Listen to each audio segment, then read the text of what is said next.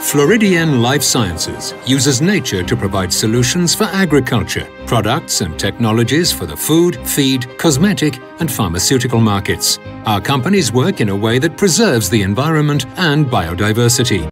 Floridienne Life Sciences Division enters its second decade pursuing one goal to be the most reliable partner for our customers and continue to provide them with out of nature, sustainable, and high quality products.